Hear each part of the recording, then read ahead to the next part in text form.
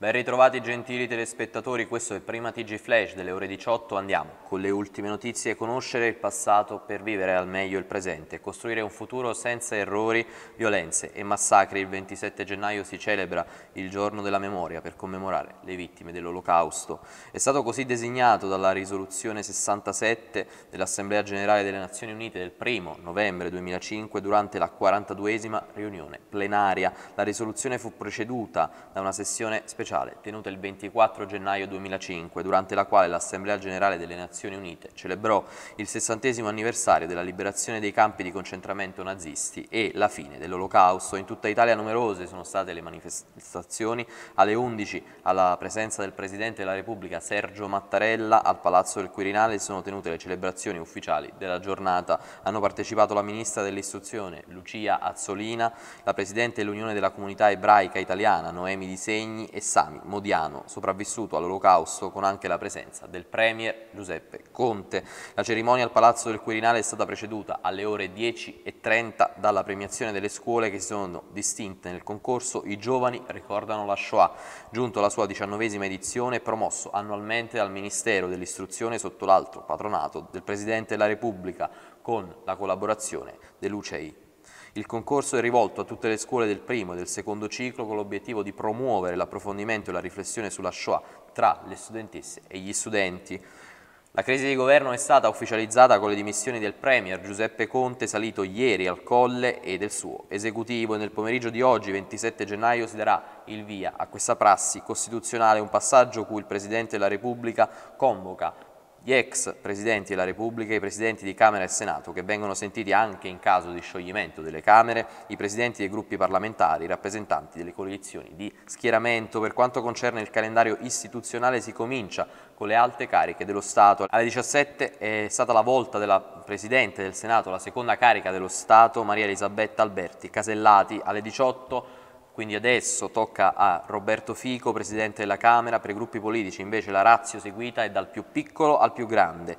Alle 10 di questa mattina eh, ha iniziato il gruppo parlamentare per le autonomie del Senato, seguito alle 10.30 e alle 12.30 e dalle 16 alle 16.45 dai rappresentanti dei gruppi misti di Palazzo Madama e di Montecitorio. Tra questi dovrebbero esserci ormai celebri responsabili. Ieri è stato dato per raggiunto al Senato il numero minimo di 10 senatori per formare il gruppo del nome europeisti, mai e centro democratico. Nel pomeriggio di giovedì invece si passa ai gruppi più importanti. Alle, alle 16.45 la volta del gruppo della Camera di Liberi e Uguali, alle 16.45 ma soprattutto di uno dei momenti più attesi per quello che potranno dire la propria, cioè di Matteo Renzi alle 17.30. Infatti Mattarella riceverà la delegazione di Camera e Senato di Italia Viva. La giornata si chiude alle ore 18.30 con l'incontro con i gruppi parlamentari del Partito Democratico dopo la cerimonia di inaugurazione dell'anno giudiziario della Corte Suprema di Cassazione in mattinata, nel pomeriggio si chiude con le consultazioni. Prima alle 16 il centrodestra unito, ieri erano circolate notizie su una partecipazione separata delle singole componenti del fronte conservatore a rappresentazione del distinguo e della posizione raccontata come combattuta di alcune frange di Forza Italia, invece Fratelli d'Italia, Forza Italia e la Lega e i parlamentari di Cambiamo vicini a Giovanni Toti insieme all'Udc andranno a comporre un'unica delegazione. Si chiude con il partito che più voti voti ha alle ultime elezioni del 4 marzo 2018 il Movimento 5 Stelle. Il leader di Italia Viva, Matteo Renzi, ha rilasciato alcune dichiarazioni importanti. Andremo al Quirinale senza alcun pregiudizio. Per noi la priorità è aiutare i cittadini ad uscire da questa difficile situazione, non soltanto per quanto riguarda il lato economico, lo spreco dei soldi del recovery, la perdita del tempo sui vaccini, ritardare il rientro degli studenti a scuola e vivere di sussidi sarebbero tutti errori imperdonabili. Noi non ci stiamo. Buone notizie invece dalla Gran Bretagna perché il vaccino anti-Covid-19 di Oxford AstraZeneca, realizzato anche con la collaborazione italiana, si sta rivelando efficace su tutte le persone di tutte le fasce di età nell'ambito della somministrazione in corso già su milioni di persone nel Regno Unito, primo paese ad, autorizzarlo un mese fa. Lo evidenzia Downing Street citando il professor Patrick Vallance, consigliere scientifico, capo del governo britannico. Come scrive Lanza, Vallance ha illustrato oggi ai ministri dati aggiornati aggiornati secondo cui questo vaccino, come quello Pfizer-BioNTech, si mostra sicuro ed efficace con una risposta immunitaria analoga su giovani e anziani. Intanto il presidente dell'Abruzzo, Marsilio, ha annunciato in aula nel corso del Consiglio regionale che l'Istituto Zooprofilattico ha evidenziato tre casi di positività al Covid-19 con variante brasiliana, positiva una famiglia di Poggio Picenze in provincia di L'Aquila, di ritorno dal Brasile, casi che sono stati tempestivamente individuati ed isolati. Allarme all'ospedale Cardarelli di Napoli dove si registra un forte aumento dei casi di contagio tra il personale sanitario. Ad oggi sono infatti 21 i sanitari, medici, infermieri e operatori sociosanitari positivi al Covid-19. Dei contagiati 11 sono in forza al servizio autoparco dell'ospedale Cardarelli e nella maggioranza dei casi svolgono la funzione di autisti. Uno degli 11 contagiati è ricoverato in reparto di terapia subintensiva. Per fortuna gli altri riscontrano solo lievi sintomi e sono in isolamento domiciliare. Altri 5 casi sono stati registrati tra i sanitari in servizio al reparto di medicina d'urgenza.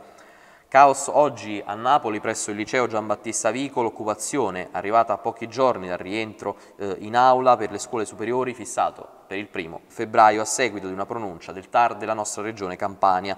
Come scrive l'ANSA, gli studenti prima di occupare si sono sottoposti a tampone rapido e assicurano che utilizzeranno il più possibile gli spazi aperti rispettando le norme anti-Covid-19. Durante l'occupazione chi vorrà potrà continuare a seguire le, lezioni con la, con la didattica a distanza, mentre nel pomeriggio caso quindi oggi si terranno alcuni dibattiti, alcune assemblee che dureranno fino a questa sera. Per un rientro in sicurezza gli studenti chiedono presidi medico-sanitari all'interno delle scuole e di ricevere tamponi nasofaringei regolarmente per monitorare l'andamento dei contagi all'interno del proprio istituto.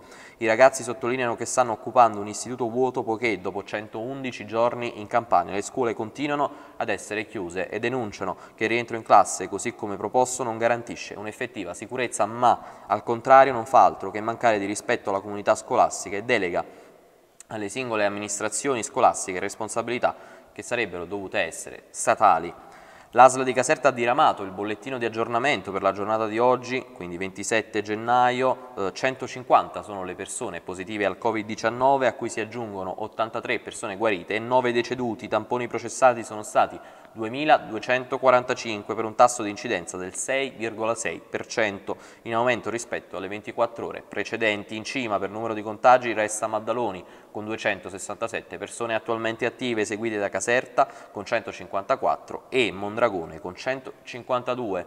Passiamo adesso al calcio e chiudiamo con, con il Napoli che dopo la pesante sconfitta di Verona si gioca tutto contro Spezia in Coppa Italia e Parma in campionato. Gattuso in particolare vede traballare la propria panchina, tant'è vero che c'è stato un contatto tra Aurelio De Laurentiis e Rafa Benitez, così come Mazzarri, due grandi ex degli azzurri. Per quanto riguarda il capitolo mercato, Malqui è ormai un giocatore della Fiorentina, Llorente ieri ha svolto invece le visite mediche con l'Udinese, mentre è tutto fermo in entrata. Andiamo a dare uno sguardo anche alla gara di domani in Coppa Italia al Diego Armando Maradona contro lo Spezia che ha già battuto gli azzurri in campionato, tra i pali dovrebbe giocare ancora Meret, in difesa Di Lorenzo, Maximovic, Koulibaly e Mario Rui attualmente in vantaggio sui Sai, a centrocampo ancora Demme e Bakayoko con Lozano, Zielischi e Insigne alle spalle dell'unica punta che dovrebbe essere Osimen al rientro dal primo, favorito su Petagna. Per questa edizione di Prima TG Flash è tutto, appuntamento tra qualche ora sempre sui nostri canali, un caloroso arrivederci.